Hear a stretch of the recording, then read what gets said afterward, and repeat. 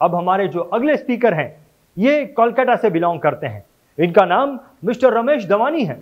अगर आप मिस्टर रमेश दमानी को लाइफ इंश्योरेंस का किंग कहेंगे तो ये जनरल इंश्योरेंस के और भी बड़े किंग हैं। एक्सपीरियंस इनमें कूट कूट के भरा हुआ है। ये इकलौते ऐसे भारत में एजेंट हैं, जिन्हें आईसीआईसीआई लुम्बार्ड ने अपने एसएमई बोर्ड पर नियुक्त किया है।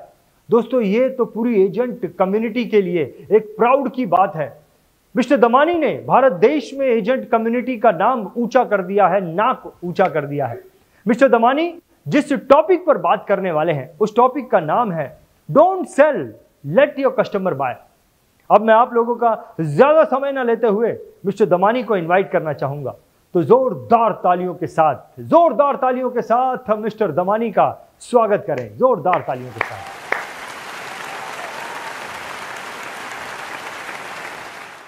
प्रिय मित्रों बी टीवी के माध्यम से मैं आप सबके साथ आज जुड़ा हूँ। मैं आप सबके साथ वार्ता के लिए उपस्थित हूँ। मुझे कुछ कहा गया है कि इंश्योरेंस के बारे में अपने कुछ एक्सपीरियंस शेयर करूँ। मैं आज विगत 36 वर्षों से लाइफ इंश्योरेंस क्षेत्र से जुड़ा हूँ और बयालीस वर्षों से जनरल इंश्योरेंस क्षेत्र से जुड़ा हूँ। मैंने अपने करियर की शुरुआत 1978 में यूनाइटेड इंडिया इंश्योरेंस कंपनी के डेवलपमेंट ऑफिसर के होने के नाते शुरू की। मेरी उस समय की तनख्वाह थी two hundred fifty rupees a month और छः साल तक कंटिन्यूस नौकरी करने के बाद में मेरे बाबूजी की प्रेरणा से उन्होंने हमको प्रेशर किया कि तुम अब नौकरी मत करो। तुम क्यों नहीं लाइफ इंश्योरेंस कंपनी के साथ जुड़ते हो? इसमें काफ़ी बड़ी आगे उन्नति है और नौकरी में एक सीमित क्षेत्र तक ही उन्नति है। ये मेरे लिए बड़ा कठिन डिसीज़न था कि एक सरकारी नौकरी छोड़ना और सेल्फ इंडिपेंडेंट वे में प्रोफेशनल वे में, जहाँ कोई गारंटी नहीं है कि मैं कितना कमाऊँगा। फिर भी काफ़ी मुझे प्रेशर किया गया। हो सकता है उन्होंने मैं कुछ देखा होगा, प्रतिभा देखी होगी। नहीं तो सरकारी नौकरी छोड़ना बहुत कठिन काम था। मैंने सितंबर 1984 में finally United India insurance company से रेजिग्नेशन दे दिया। मैं जब रिजाइन किया था, उस समय मेरी तनख्वाह हुआ करती थी चार हज़ार रुपये महीने। बड़ा कठिन डिसीज़न था, फिर भी एक्सेप्ट किया चैलेंज और शुरू से मेरे बड़े सपने देखने की आदत थी कि मुझे बड़ा बनना है। ये बात मुझे भली ही जज गई कि नौकरी करूँगा तो शायद मैं मेरी इनकम सीमित ही रहेगी, आगे नहीं बढ़ पाऊँगा। मैंने इंश्योरेंस का फ़र्स्ट अक्टूबर 1984 में लाइफ इंश्योरेंस एजेंसी ली और इस हिसाब से मेरे आज 36 वर्ष कंप्लीट हो गए हैं। मैंने काम चालू किया जब इंश्योरेंस बहुत मुश्किल से लोग लिया करते थे और लेते ही नहीं थे। पाँच हज़ार की पॉलिसी बेचने में भी पसीने छूट जाते थे। पाँच हज़ार, दस हज़ार, पच्चीस हज़ार की बीमा हो जाए, पच्चीस हज़ार की इंश्योरेंस हो जाए तो बहुत बड़ा काम था। मैंने काफ़ी कोल्ड कन्वेंसिंग की। मैं एलआईसी में जाके बैठता था और ऑफिसर्स के पास जाके पूछता था कि, सर, जिन जिन रुपये, लोगों के रुपये पावने बाकी हैं, उसकी हमें लिस्ट मिल जाए। तो मेरे को काफ़ी कॉपरेशन मिला और मैं उन लोग के पास जाता था लिस्ट लेकर के आपके रुपये पावने कितने लोग उस समय मैच्योरिटी रुपया लेना भूल जाते थे या एल के नोटिस नहीं जाती थी या कितने का चेंज ऑफ़ एड्रेस हो गया था। तो मैं उनके पास जाके मिलता था और उनको सहयोग करता था कि भाई, आप अपने रुपये निकालिए। इस बहाने मेरे ऐसे ऐसे लोगों से संपर्क में आया कि आश्चर्यजनक था। मैं एक कंपनी के मैं वॉचर लेके गया था जिनका मैच्योरिटी पेमेंट पावना था, करीबन बत्तीस हज़ार रुपये था। उन्होंने हमको बुरी कदर गुस्सा करके कहा कि तुम्हारी हिम्मत कैसे हुई मेरे कागज़ को हाथ लगाने की? तुमने एलआईसी से लाया कैसे? दोस्तों, मैंने बोला, ठीक है साहब, मैं चला जाता हूँ। मैं कागज़ लेके वापस लौटा दूँगा। पर दो मिनट बाद बोला, ठीक है, आप बैठिए। मैं कागज़ आपको कल दूँगा। और he was none other than the barrister of a very big company और उन्होंने इतने मेरे से खुश हुए बाद में और काफ़ी इंश्योरेंस का हमको रेफरेंस भी दिया। इसी प्रकार मेरे एक और कंपनी एंड्रियल कंपनी के चेयरमैन से मुलाकात हुई। मैंने उनको कहा था कि यदि आपको रुपए लेने हैं तो आपको मेरी ऑफ़िस आना पड़ेगा। वे बोले, मुझको समय नहीं है। मैं बोले, ऐसा आप क्या व्यक्ति हैं जो आपको समय नहीं है और आप रुपये लेने के नहीं आ सकते हैं? बोला, नहीं, मैं बहुत व्यस्त हूँ। प्लीज़ आप मेरी ऑफ़िस आ जाइए। ठीक है? कोल्ड कन्वेंसिंग था, मैं उनके ऑफ़िस में गया और जाके मेरे पाँव तले ज़मीन खिसक गई। मैं देखा, ये तो कंपनी के चेयरमैन हैं। दोस्तों, मैं उनसे मिला। उन्होंने अपने घर बुलाया। बुला करके उन्होंने अपने लड़के की इंश्योरेंस दी, जो क्रिकेट जगत के प्रसिद्ध खिलाड़ी हुआ करते थे, अरुण लाल। उसकी भी इंश्योरेंस मैंने की। तो दोस्तों, एक बड़ा थ्रिलिंग टाइप का था लोगों से, अजनबी लोगों से मिलना, उनसे इंश्योरेंस की बात करना, और मुझको काफ़ी सक्सेस भी मिली। और ये समझ के जाता था कि कुछ ना कुछ सुनने को मिलेगा। लोग गुस्सा भी होंगे या खुश भी होंगे, कुछ पता नहीं। पर हाँ दोस्तों मेरी तकदीर ने साथ दिया। काफ़ी लोग खुश हुए मेरे सर्विस से। हमको काफ़ी रेफरेंस मिलने शुरू हो गए थे और मैं काम बढ़ना शुरू कर दिया था। हर व्यक्ति सक्सेसफुल होना चाहता है। सक्सेस के लिए मैंने काफ़ी ट्रेनिंग की, अपने आप को ट्रेनिंग में जोड़ा। मैंने काफ़ी सेमिनार्स अटेंड की।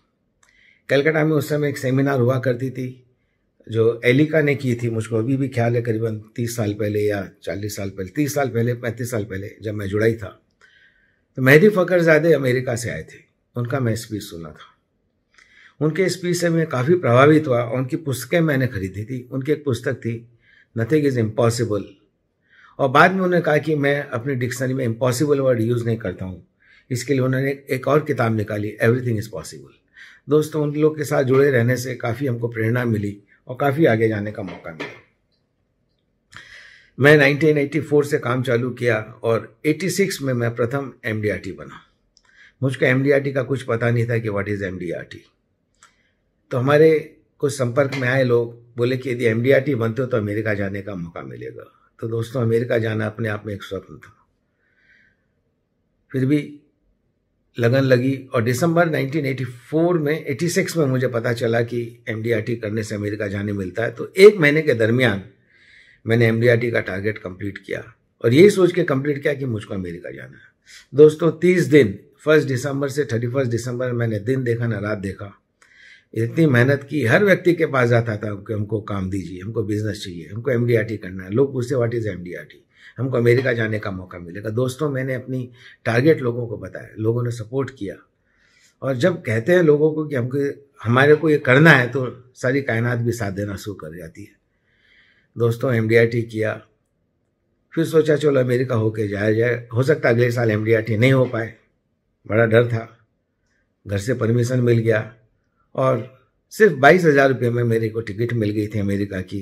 दो टिकट ली, मैं वाइफ को साथ में लेके गया था। और यही सोच के गया था कि चलो, अब अगले साल से एम हो चाहे नहीं हो अमेरिका तो जाके आ ही जाता एट्टी सेवन में फ़र्स्ट मीटिंग थी अटलांटा में।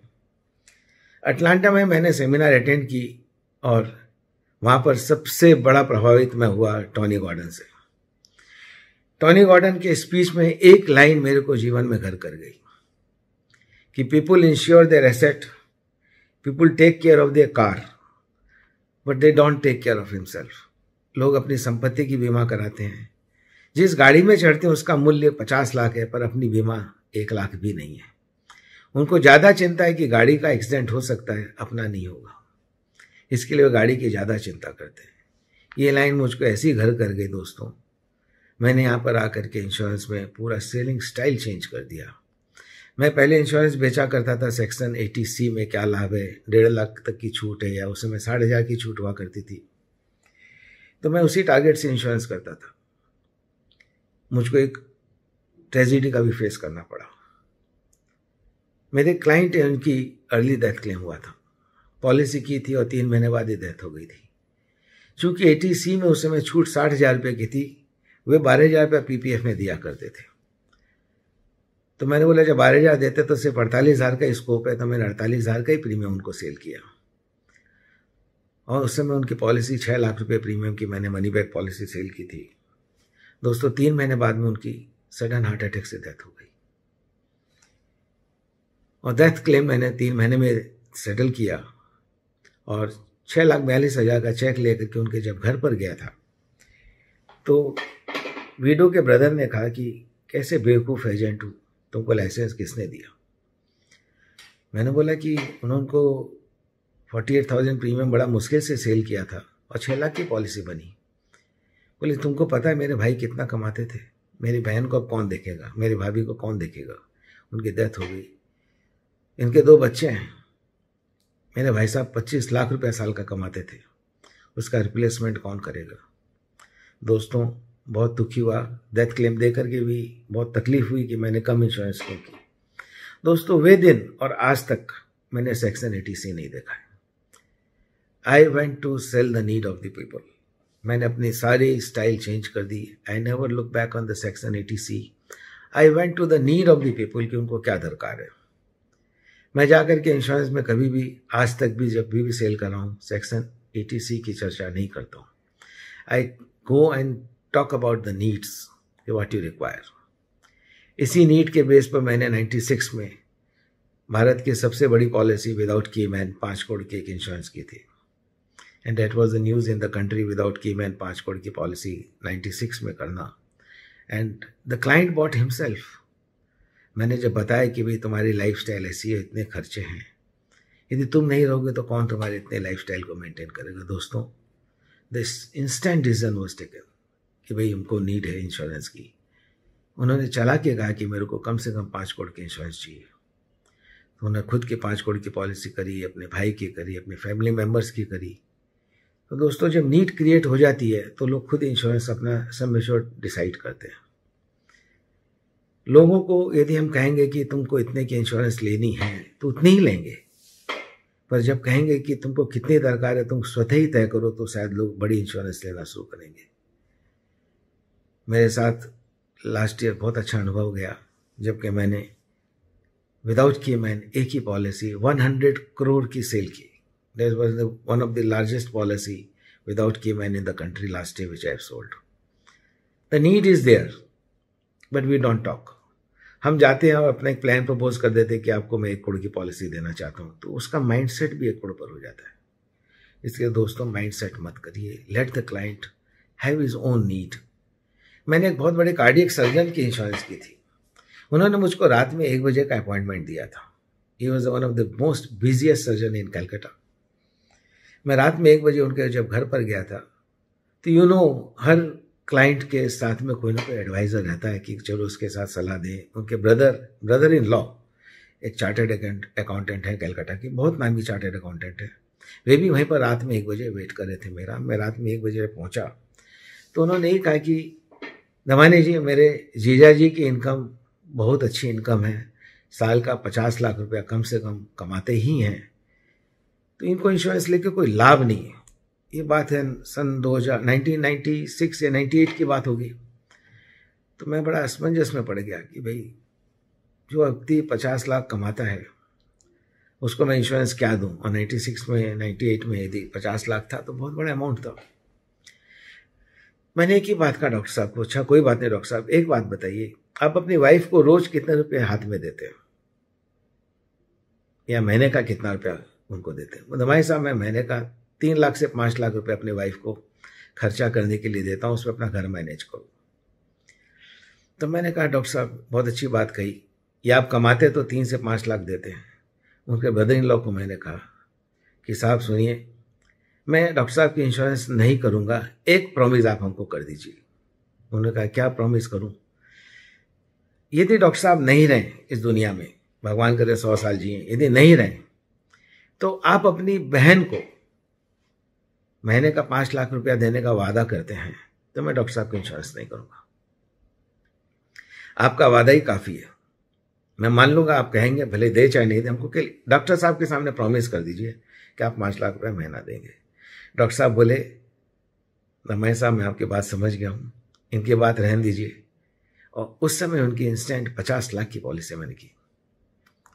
उनका लड़का सोनी सोनी कॉरपोरेशन लंदन में पोस्टिंग था ही वॉज़ जनरल मैनेजर लड़का इंडिया है तो उसकी भी मैंने पच्चीस लाख की पॉलिसी करी और उनकी लड़की की भी पॉलिसी करी। दोस्तों, मैंने पॉलिसी का अमाउंट तय नहीं किया था। डॉक्टर साहब को खुद कोई कॉन्सेप्ट आ गया था। तो मैंने इतना ही कहा था, डॉक्टर साहब, साल में जितना कमाते, कम से कम उतनी तो इंश्योरेंस रखिए। मुझको तो कहना चाहिए था, दस दस गुना करिए। दोस्तों, दस गुना भी कर सकता था, पर लैक ऑफ़ ट्रेनिंग था। नहीं समझ रहा था कि क्या करना चाहिए। फिर भी मैंने प्रीमियम लिया, उनका सारे मेडिकल कराया केस पास कराया। तो that was always a challenge कि भाई, एक कोई एडवाइस करता है कि मत लो और हमको उसको ओवरकम करना है। ये चैलेंज आते रहेंगे। बिना चैलेंज के कुछ लाइफ में मज़ा नहीं है। जब पहले खेल रहा था फुटबॉल तो उसका ट्रेनर ने कहा था कि तुम गोल पोस्ट में गोल करो। तुमको पेनल्टी कॉर्नर मारना है। जब भी भी कभी चैलेंज मैच होगा तो तुमको उसमें पेनल्टी कॉर्नर मारना है। दोस्तों, सोलह के सोलह बॉल को उसने गोल पोस्ट में डाले। उसके ट्रेनर हर गोल पर उसको ताली बजा रहा था। पहले को कहा कि, यार, तुम तो इतना अच्छा खेल रहे हो कि उनको मज़ा आ गया। एक भी बॉल तुम्हारी गोल पोस्ट के बाहर नहीं गई, गोल पोस्ट पे नहीं लगी, सीधे गोल में लगी। पहले ने कहा कि मुझको मज़ा नहीं आया। आपने क्या किया? साधारण सामने गोल पोस्ट रख दिया। कम से कम एक गोल कीपर तो रखा होता जो मेरी बॉल को रुकता। तो मैं और कायदे से भी खेलता। तो दोस्तों ऑब्स्टेकल आए बिना खुद को मज़ा नहीं आएगा। जब तक हमें चैलेंज में ऑब्स्टेकल मिलते हैं, हमारे, हमको लगता है कि भाई चैलेंज है, कोई चैलेंज नहीं है लाइफ में दोस्तों। हम अपने आप में एक चैलेंज है। हम अपने आप को ओवरकम करते रहें। हमको खूब मेहनत करना है। चैलेंज एक्सेप्ट करते रहना है। थॉमस अल्वा एडिसन, उसका नाम सभी ने सुना है, संसार में दो दो ही तरफ़ से रोशनी मिली हमें। एक भगवान सूर्य से और एक थॉमस अल्वा एडिसन से। वह रोज सोलह से अठारह घंटा तक मेहनत करता था। और पचास हज़ार एक्सपेरिमेंट किया तो भी बल्ब का इन्वेंशन नहीं हुआ। और यदि इसी थक के हार जाता दोस्तों तो आज हमें बल्ब की रोशनी नहीं मिलती। उसके साथी लोग उसको बोलते थे, तुम पागल हो। क्यों तुम एक्सपेरिमेंट कर रहे हो? बोले, कम से कम मेरे एक्सपेरिमेंट से ये प्रूव हो गया कि ये पचास हज़ार एक्सपेरिमेंट जो पुराने हो गए, उसको करके लाभ नहीं है। अब मैं नए तरीके से करूँगा। और दोस्तों, ये करते करते सक्सेस हुआ और हमको आज रोशनी उन्हीं की कृपा से मिल रही है। दोस्तों चैलेंज जब तक नहीं आएँगे, हम आगे नहीं बढ़ेंगे। ऑलवेज फेस द कस्टमर जितने आप कस्टमर फेस करेंगे, उतने ऑब्जेक्शन मिलेंगे और वे ऑब्जेक्शन हमको सीखने को आगे ले जाते हैं। हम जितना कस्टमर फेस करेंगे, उतने ऑब्जेक्शन मिलेंगे और उतनी हमको और मैच्योरिटी आएगी। क्योंकि ऑब्जेक्शन शोज़ दैट कि कस्टमर की क्या नीड है उसको हम कैसे ओवरकम कर सकते हैं। दोस्तों, अभी सारा संसार एक कठिन दौर से गुजर रहा है। हम लोग सभी को भयभीत है कि भाई कोरोना का क्या होगा? दोस्तों, कोई घबराने की बात नहीं है। This again a challenge we have to live in a discipline ये चैलेंज आते रहेंगे, पर उसको लेकर के हाथ पे हाथ मत धरो। नए एवेन्यूज मिलेंगे। इंश्योरेंस की डिमांड आएगी और बहुत बड़ी डिमांड हमको लग रही है कि इतनी बड़ी डिमांड आएगी कि शायद हम लोग जितने भी एजेंट आज भारतवर्ष बीस लाख के लिए एजेंट हैं, वे भी कम हो जाएँगे। तो इसमें घबराने की कोई बात नहीं है, क्योंकि every adversity gives us opportunity हमें एडवर्सिटी मिलती है, उसको हमको अपॉर्चुनिटी समझना चाहिए।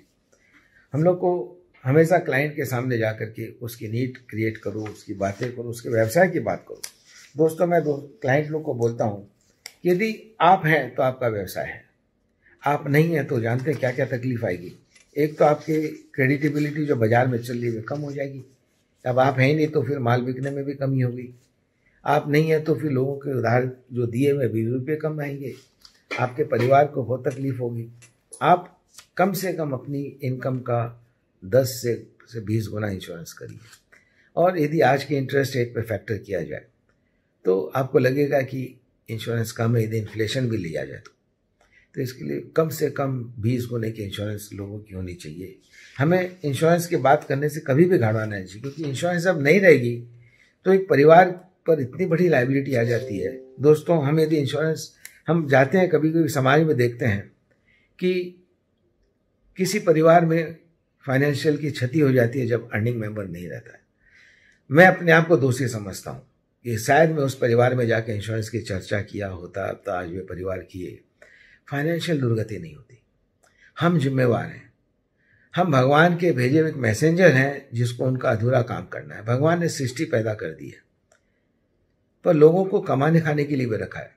पर जहाँ लोगों की कमाई में, परिवार में क्षति हो और अर्निंग मेंबर नहीं रहे, उसको हमको जाके देखना है। हमको लाइसेंस मिला इंश्योरेंस बेचने का। क्या हम अपना कर्तव्य कर रहे हैं?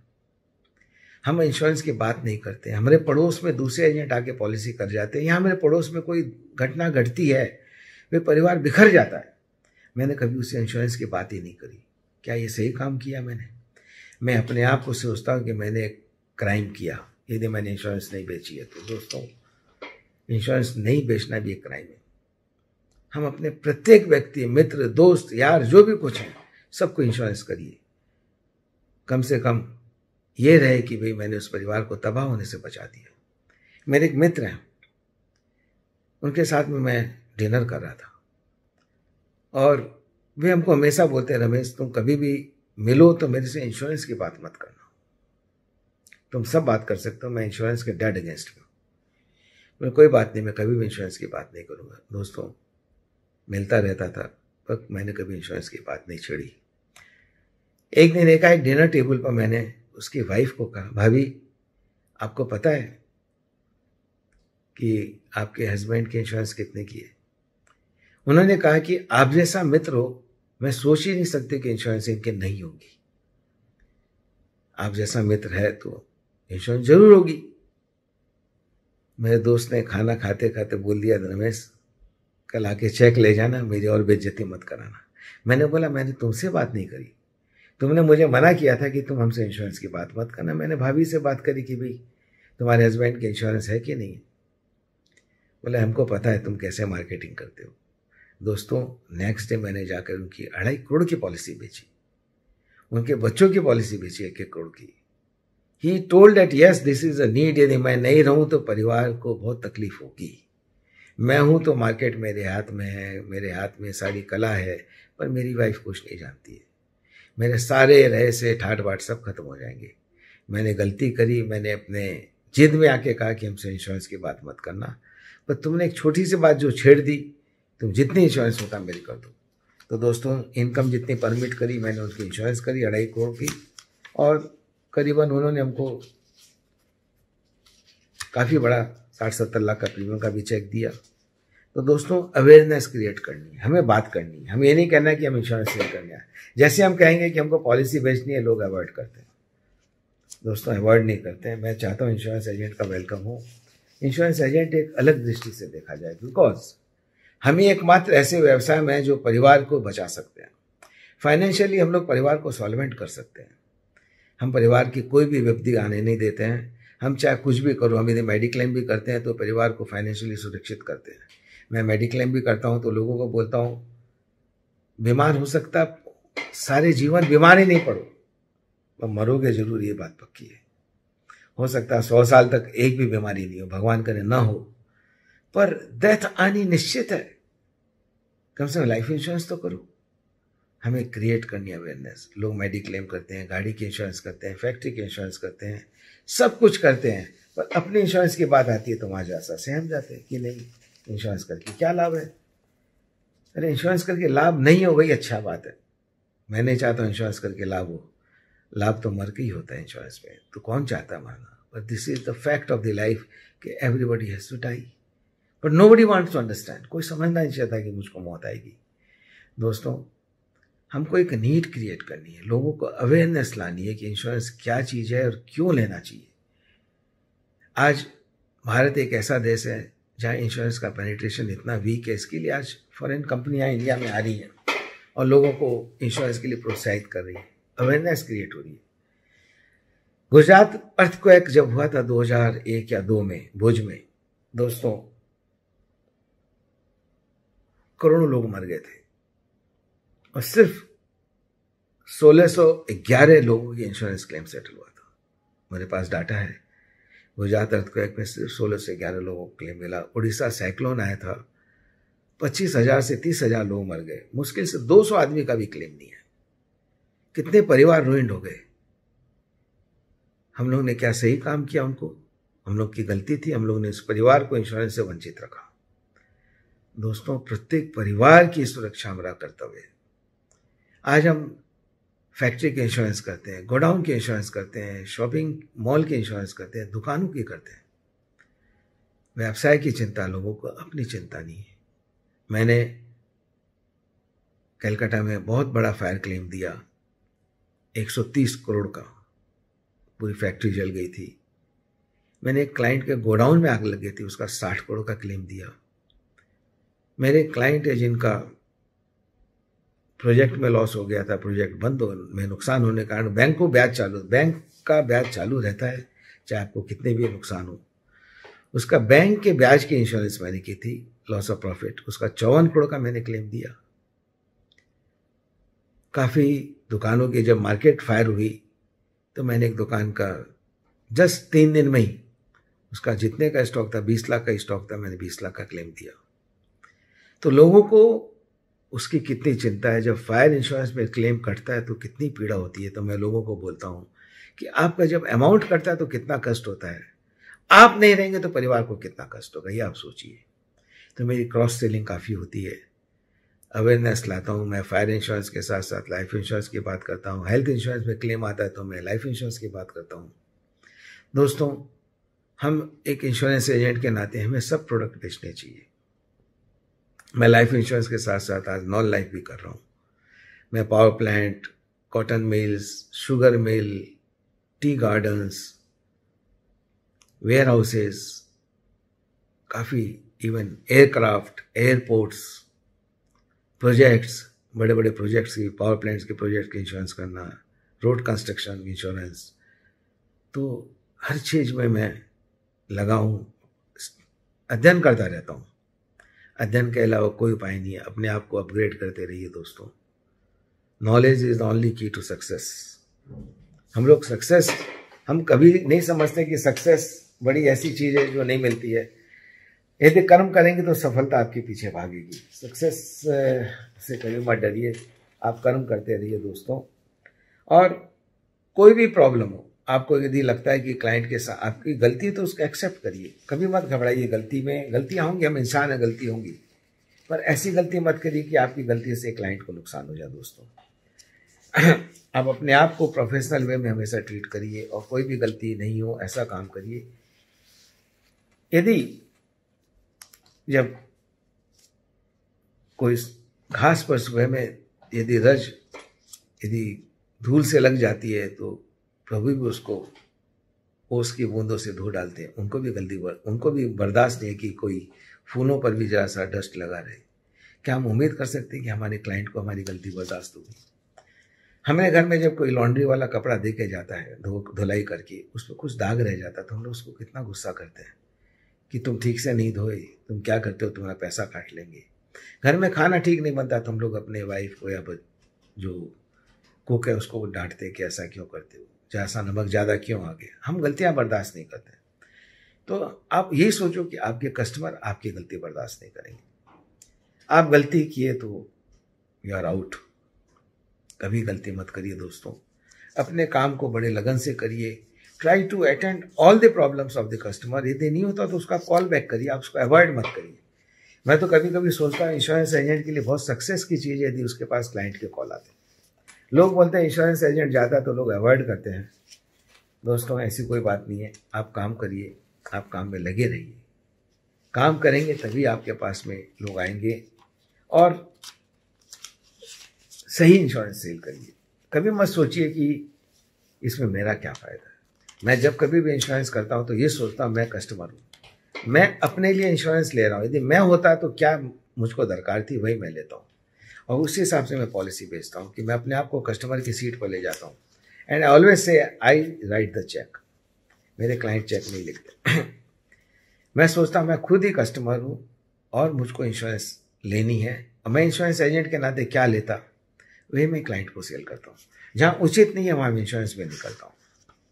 जहाँ एकदम दरकार नहीं है, वहाँ इंश्योरेंस नहीं करता हूँ। तो दोस्तों insurance is the need of hour हम लोग को इंश्योरेंस में लगे रहना है जब हमें भगवान ने एजेंट बनाया। तो हमको अपना काम पूरी तरीके से करना है। जब पृथ्वी पर भगवान ने मनुष्य को भेजा तो प्रथम मनुष्य जब आया था तो भगवान ने बोला कि जाओ पृथ्वी पर रहो, काफ़ी दिन स्वर्ग में मौज कर चुकी अब तुमको पृथ्वी पर भी जाना है। कोई आने को तैयार नहीं था। भगवान ने बोला, नहीं, तुम जाओ वहाँ पर, किसान बन जाओ। खेती करो, खाओ और मौज करो। तब मनुष्य बोला, ठीक है। मुझको ये मंजूर है, मैं कम से कम भूखा तो नहीं मरूँगा, किसान बनूँगा। वो किसान बन गया और पृथ्वी पर आकर के खूब खाना खाना पीना करता था, खेती करता था। अब दूसरे को बोला कि भाई तुम चले जाओ। बोले, मेरे पास में कोई काम नहीं, मैं तो नहीं जाऊँगा। जिस व्यक्ति को आपने भेजा, वो तो खाना बनाता है और हमको यदि नहीं देगा तो मैं भूखा मर जाऊँगा। वह नहीं तो वहाँ जाके बुनकर बन जाओ, कपड़े बनाओ, क्योंकि उसके पास वस्त्र नहीं है पहनने को तो तुम उसको वस्त्र दे देना और तुमको बदले में खाना दे देगा। तो बार्टर सिस्टम में बोले, ठीक है, मैं चला जाऊँगा। वे पृथ्वी पर आ गया और बुनकर बन गया और धीरे धीरे कपड़े मिल का मालिक बन गया। तीसरे व्यक्ति को भेजा। बोले, तुम भी जाओ। बोले, मैं तो नहीं जाऊँगा क्योंकि अब कुछ बचा ही नहीं है। क्योंकि खाना बनाने वाला जो मेन था, वो तो चला गया और कपड़ा भी बनाने वाला चला गया। तो दोनों तो करते, मैं अब क्या करूँगा? मैं नहीं उनके पास रहने का स्थान नहीं है। वे धूप में रहते हैं, पेड़ की छांव में रहते हैं, वृष्टि में, बरसात में भीजते हैं। उनके लिए घर बनाओ। तुम सिविल इंजीनियर बन जाओ, इंजीनियर बन जाओ और उनके लिए घर बनाओ। चलने के रास्ते ठीक करो। बोला ये बात ठीक है। बोले तुमको खाना और कपड़ा मत, नहीं दे तो तुम अपने घर में मत रखना। तो वे भी सोचा अच्छा बार्टर सिस्टम है, मैं भी चला जाऊँगा। तो ये चला गया, इंजीनियर बन करके आ गया। ऐसे एक एक व्यक्ति को भगवान को पृथ्वी बसानी थी। चौथे व्यक्ति को बोला, तुम भी जाओ।